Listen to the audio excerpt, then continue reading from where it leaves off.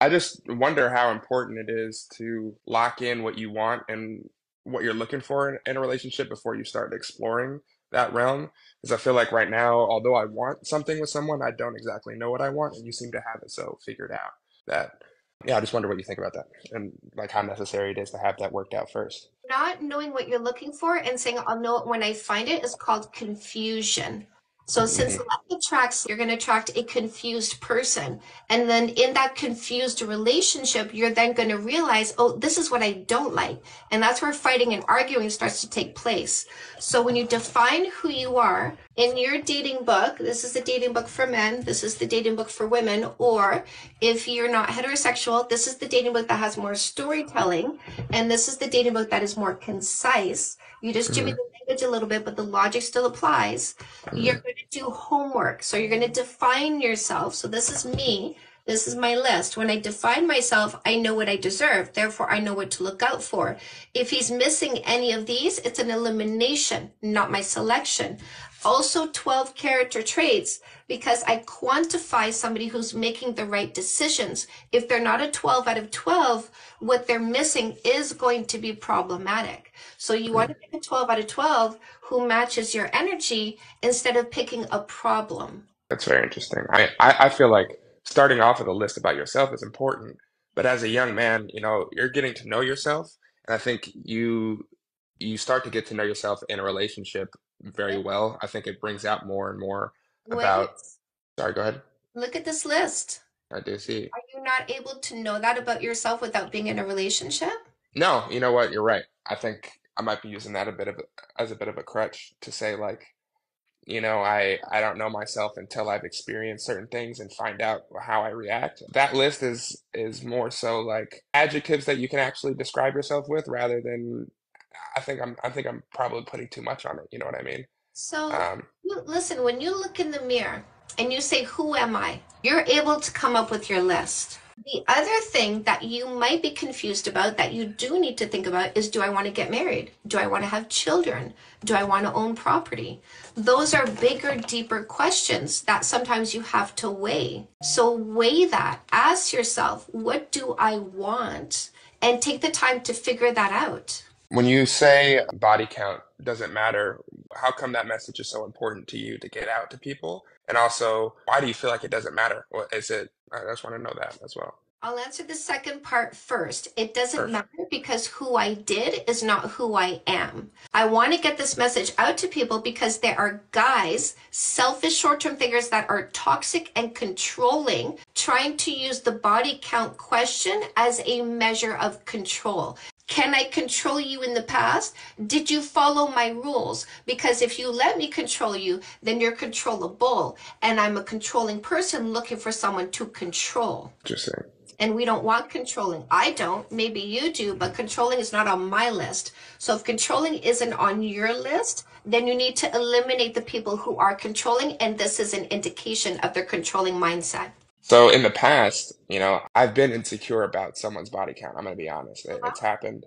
It's So happened. miserable for 10 years because of my insecurity. And I don't, I, I would like to work past and, and get over that. I, I wonder how you did it because, uh, you know, when I'm dating someone new, I don't want to have it be a big deal how many people they've slept with. It, it really doesn't matter. You're with me now. It's a totally different scenario. We're not thinking about the past, but, and, and your past made you who you are. And that's why I'm interested in you now.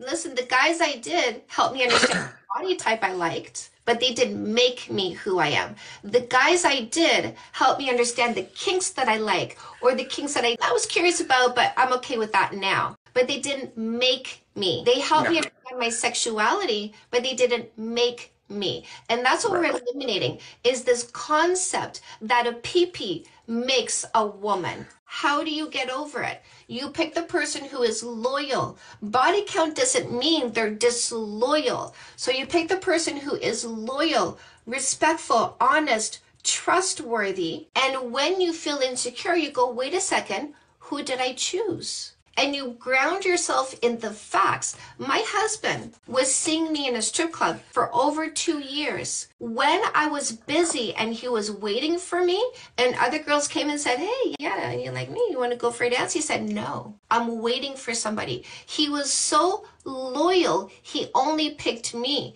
That's his personality is loyalty. So in order to overcome your insecurity, you have to pick the right person. You have to pick the loyal, honest, respectful, trustworthy person.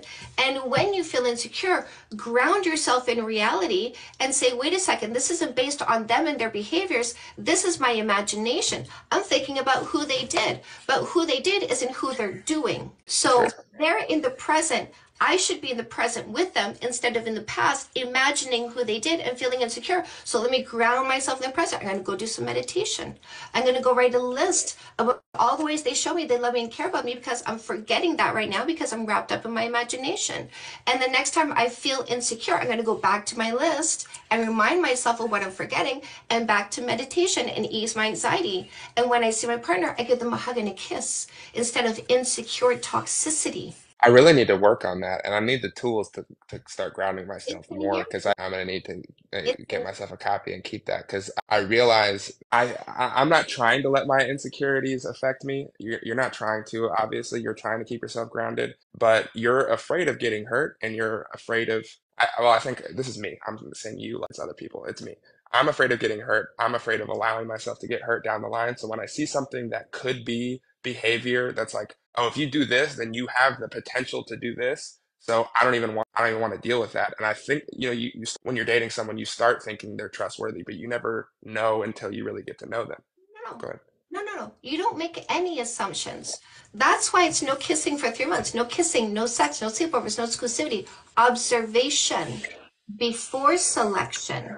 That's the thing. Yeah, you kind of if you jump into it too fast, then you're opening yourself up to hurt without knowing what situation you're in. That's what it is. Exactly, we make. Oh my gosh. I don't assume you're honest, respectful, loyal, or trustworthy, or patient, or have impulse control.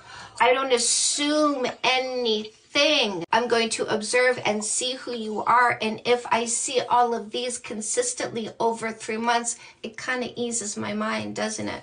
But I'm looking for the red flags. I'm not clouding my judgment with kisses and sexuality.